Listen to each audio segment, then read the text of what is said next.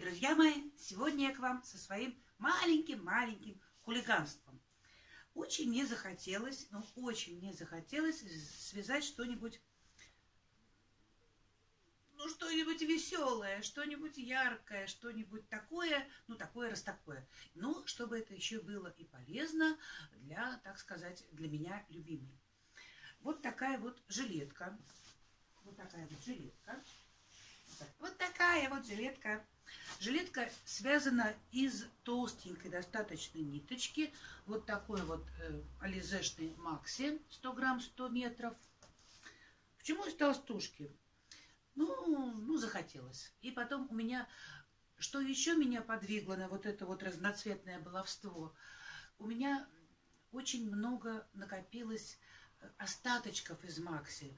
Одно время я очень любила вязать из Макси всякие разные маленькие и большие штучки. И у меня накопилось маленьких и больших клубочечков. Куда это все употребить? Сначала я хотела сделать, как многие, многие делают, там плед какой-нибудь, подушки, там что-нибудь такое. Но попались мне на глаза, и давно попались мне на глаза потрясающие фотографии девчонок, которые вяжут интарсией, шедевры, картины, просто картины. И мне захотелось. Ну, сказано, сделано.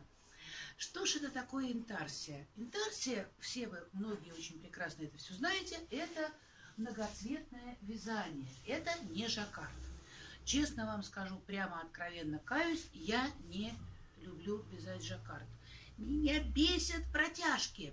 Я не вяжу ленивым жаккардом, потому что меня бесит вот это вот утолщение. Конечно, за многие-многие годы я вязала и жаккардом, я вязала и ленивым жаккардом, я вязала, естественно, и интарсией, но все вот эти вот виды вязания я не вязала ими, ну, жаккард и ленивый жаккард, ну, лет э, э, много лет.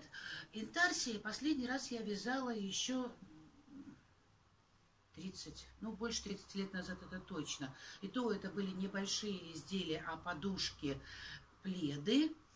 Ну, тогда я понятия не имела, что это дело называется интарсия. Интернета не было, журналов путевых тоже особо не было. И это вот э, кто-то подсказал, кто-то научил, до чего-то дошли мы сами. В общем, это было такое вот опыт. Потом все это дело было заброшено, и Интарсия, жаккард, ленивый жаккард. Я восторгаюсь, я преклоняюсь перед мастерицами и мастерами, которые это дело осиливают, у которых хватает терпения, силы воли. Вот это все связать, довязать, и чтобы это вот было вот потрясающе. Ну, мне захотелось мне захотелось э, побаловаться, выпендриться, что называется. И я решила сделать такую вот жилетку. Зачем? Изначально мне нужна такая жилетка. Почему? Лето, да, жарко, да, прям 28-27, но мы в нашем э, Ленинградской области э, особо-то не избалованы такими э, погодами. И даже когда вот это стоит жара, не особо-то мы этому и рады, потому как это тяжело. Но Бывает раннее утро, когда стоишь на остановочке и мерзнешь э, в платьишке или, или футболочке. И приходится на себя надевать какую-то куртку, какой-то свитер, что-то еще с собой брать. Днем будет жарко и тепло. Вечером опять прохладно. А если подует ветер у нас э, откуда-нибудь залива или сладоги, сладоги мне ближе, то я буду стоять такая... Ну, поэтому мне надо жилетка. В этой жилетке мне вообще будет по барабану. Я так буду стоять и не мерзнуть. Ну, это, так сказать, отступление. Почему из Макси? Почему из Макси? Вот эта жилетка связана э, практически, практически вся из Макси. Основной цвет, основной цвет 203, джинсовый. Да. Ну и всякие разные там кусочки, которые вот остались. Считается, что интарсией нужно вязать, чтобы пряжа была вся однородная, одной толщины. Ну да, соглашусь, оно выглядит тогда ровнее, ровнее и, и ровнее. Но я вязала и разные фактуры, и толщиной. Очень интересно смотрится гладкая пряжа и связыванием букле каких-то интересных. Вот здесь, значит, что здесь? Вот эта вот коричневая нитка, это Лизе Классик. Но она здесь две нитки, чтобы по толщине подойти. Вот это вот рыжая, это опять же классик, э, вот этот шафран. И вот эти вот, вот это вот, это мой любимый Париж. Почему? Ну, это же у меня катамания, это же у меня коты, поэтому здесь Париж.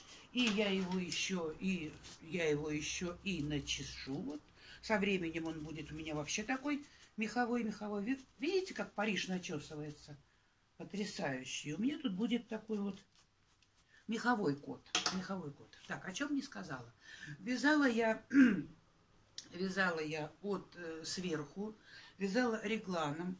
Регланную линию я скосила очень сильно. Для, для чего? Для того, чтобы у меня вот это плечо было все-таки не длинное, как вот вяжу реглан, и у меня получается вот сразу рукав длинный. Вот здесь мне важно было не уйти в длину.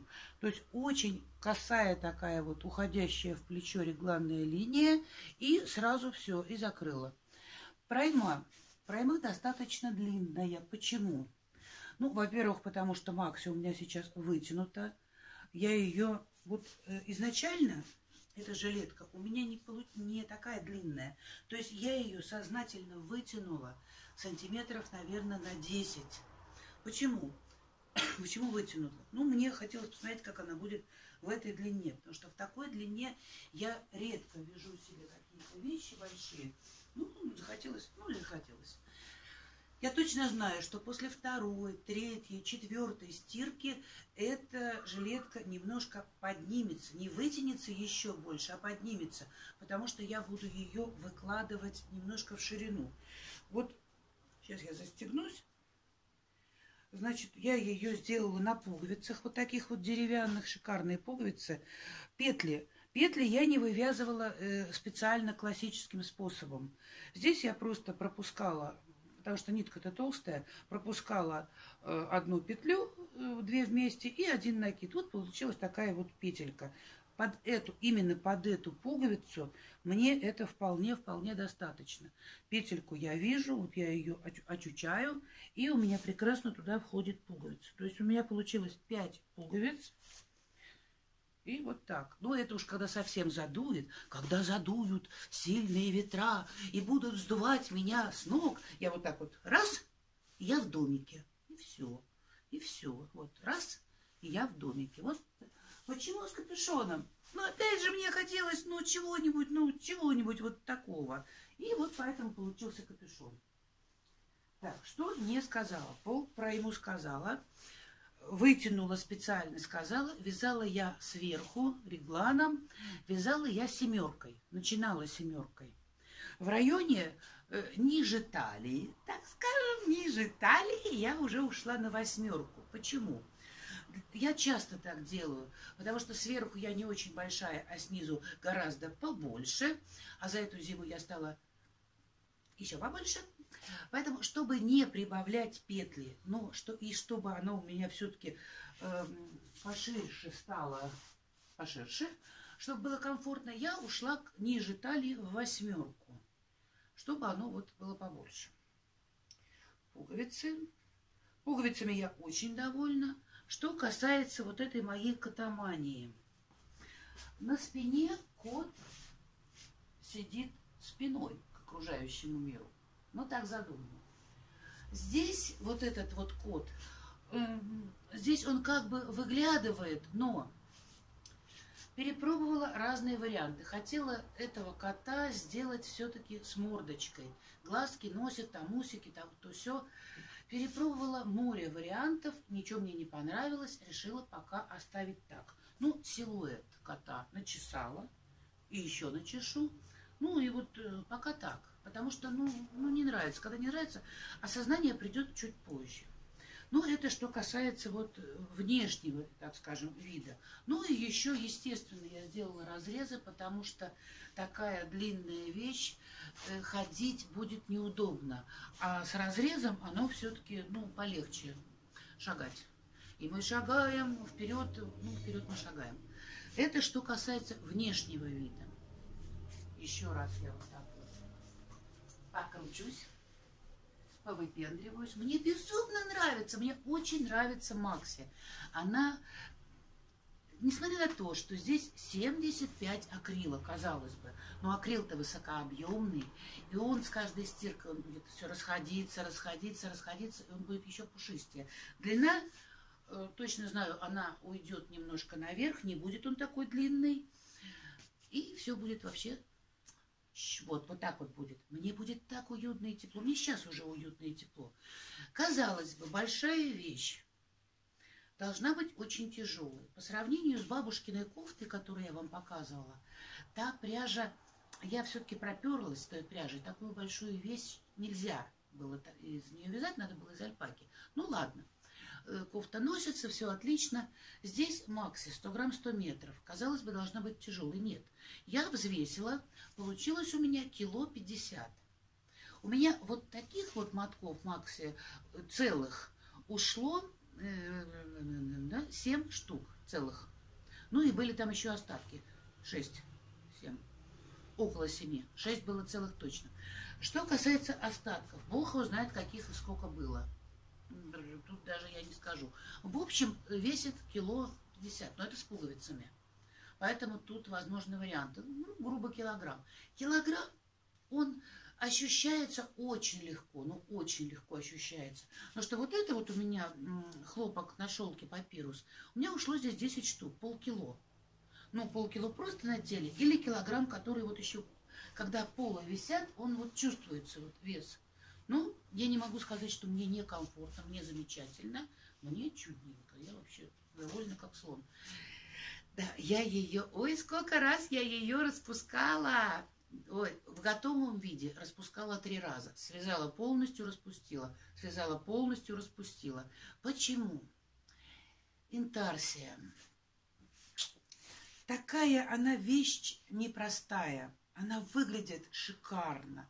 Когда мастер подберет вот цвета, рисунок, вот все вот, ну просто вот загляденье. Смотришь и думаешь, блин, как она это связала, как у нее хватило терпения. На мой взгляд, самое главное в интарсии, вот в этом разноцветном вязании, даже не толщина пряжи, даже не то, что вот эти разноцветные клубочки надо э, умудриться вязать так, чтобы не запутаться, потому что это выстрел мозга, когда вот эти много цветов, разноцветия, и эти нитки, они как эти щупальца во все стороны, тут важно свой, свою какую-то вот найти фишку как. Вот кто-то показывает, перекладывает клубочки, кто-то наматывает на шпульки. Я вот тоже, кстати, наматываю на шпульки. И тут столько вот столько девчонки идей вот рассказывают про это дело, как ею вязать.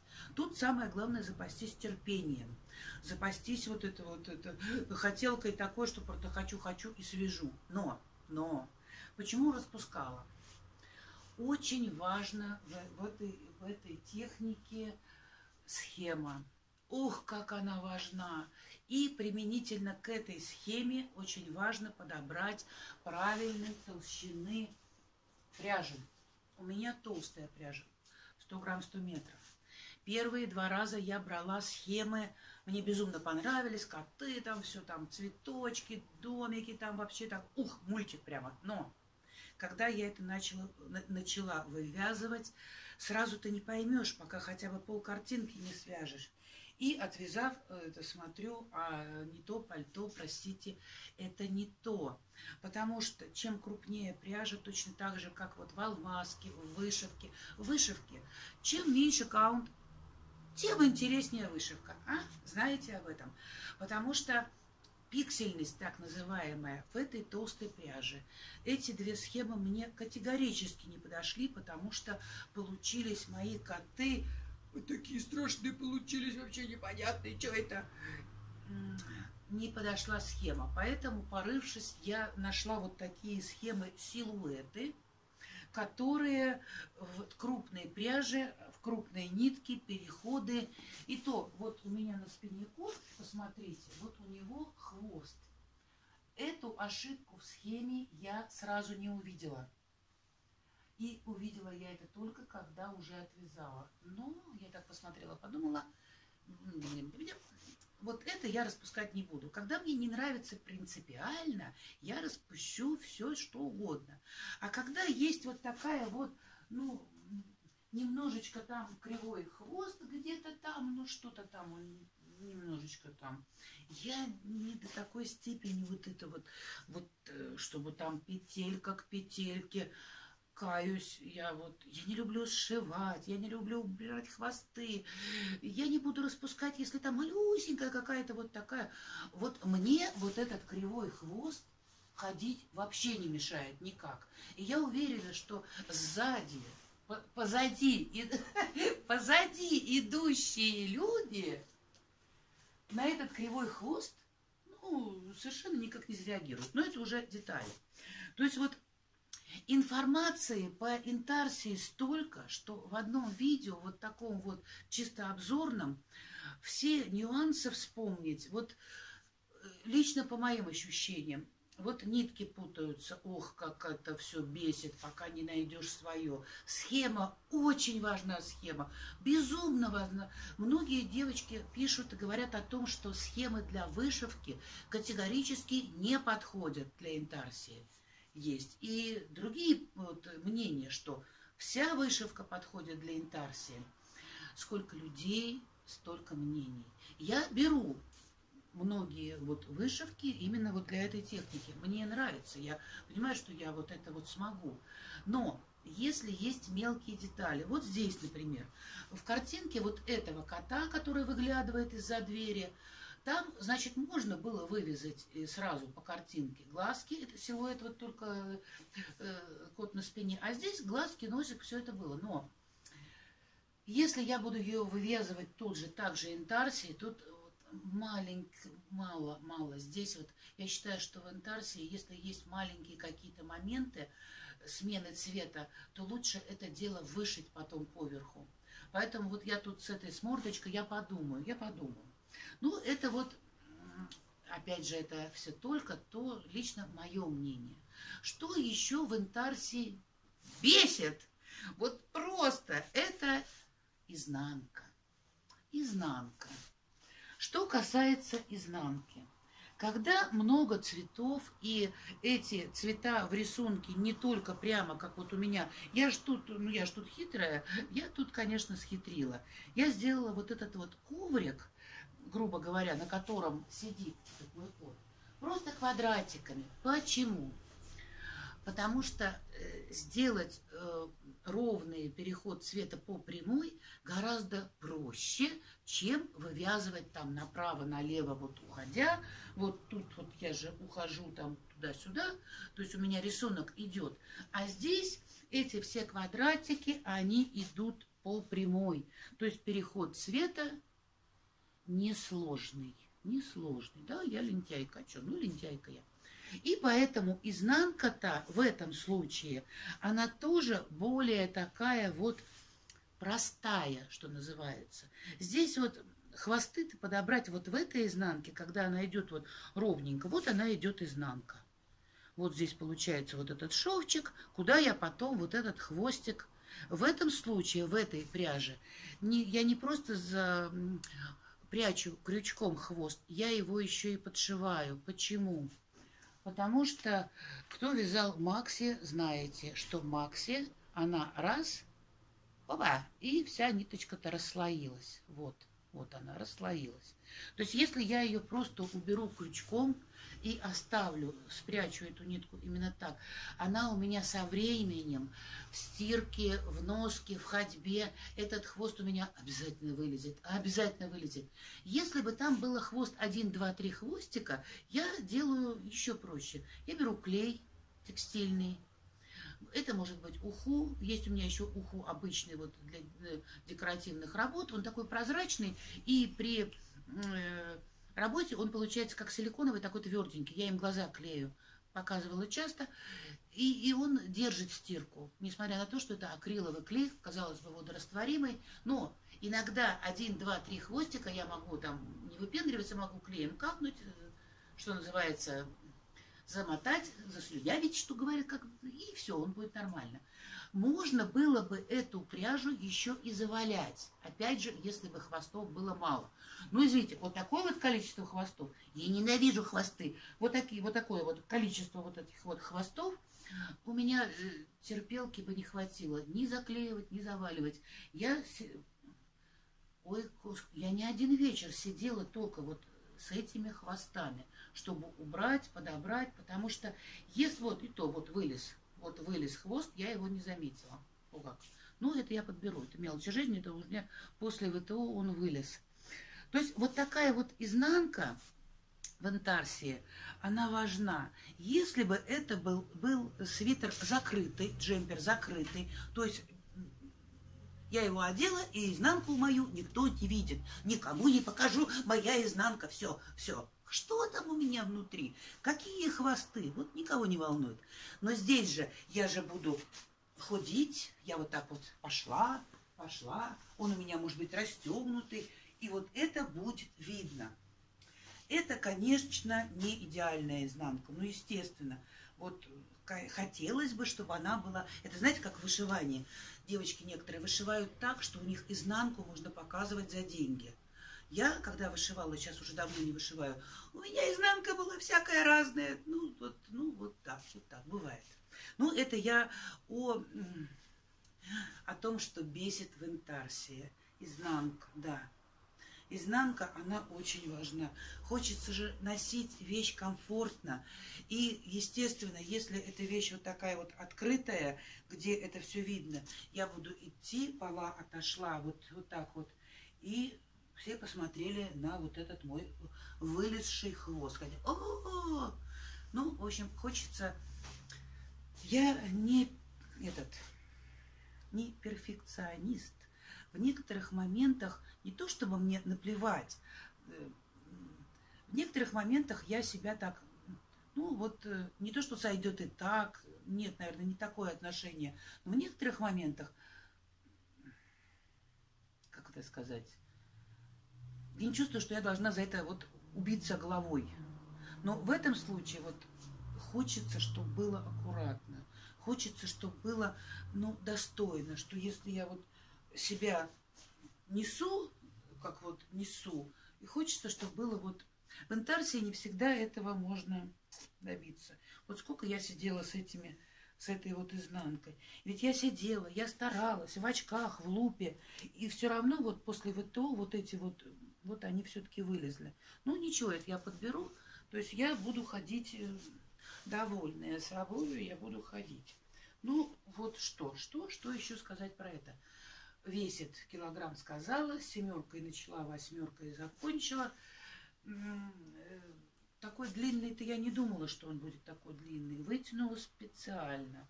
Вот, вот пока я хожу, смотрите, девчонки, мальчишки, вот, пока я хожу и вот этим вот хвостами своими трясу, вот еще один хвостик вылез. Но это нормально. То есть после ВТО даже в обычных свитерах надо проверять, если есть хвосты. Вот. Есть у меня еще одна мысль и идея. Хочу еще кое-что связать, но связать уже тонкой ниткой. И, может быть, когда буду... Сейчас пока вот это вот вязала, я даже не было у меня даже мысли поснимать, как я вяжу интарсию, куда я деваю клубки и как, потому что мне было надо скорее, скорее, скорее связать, ну скорее, скорее, скорее. А сколько раз распускала. Ну вот э, руки доберутся у меня еще до одной идеи, тогда, конечно, поснимаю, как я вяжу интарсию. Как со схемами, как что. Конечно, это не будет по петельной, все, упаси меня Бог, по петельной мастер-класс некогда, девчонки, мальчишки, просто некогда.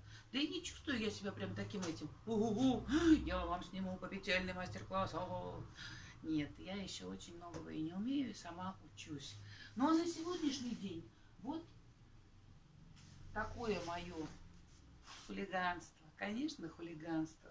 Взрослая тетенька вон что сделала. Катамания в технике интарсия. Ну, на этом все. До новых встреч.